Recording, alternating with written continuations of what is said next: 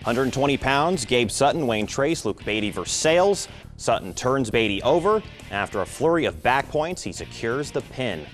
113 pounds, Chance Rust of Miami East and Nick Klein, Coldwater. No score in the third. Klein pops his head out for two, and Klein goes on to win two to one. Taking the anklet off there. And 126 pounds, Jonathan Brooks Jefferson, Kellen Anderson Covington.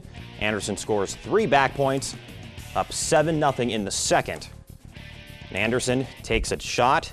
The double leg takedown gives him the 9 0 lead. And he'd end the match soon after, pinning Brooks in the second period. Now over to 132 pounds, Ethan Garver, Allen East, Nick Monier Versailles, 7-5 Garver in the second. Monier finds the reversal and ties the match. A few moments later, 8 to 7, Monier scores another two. Now in the third, Monier would break the tie at 9 and takes the lead 11 to 9, and he would hold on for the win.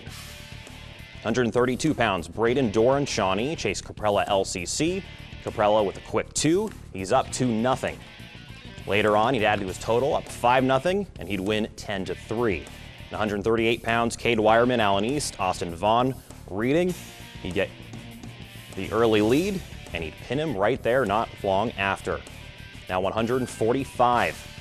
Chase Miller, Allen East. Tyler Dothwaite, West Liberty Salem. Miller scores two on the powerful takedown, and he has the lead.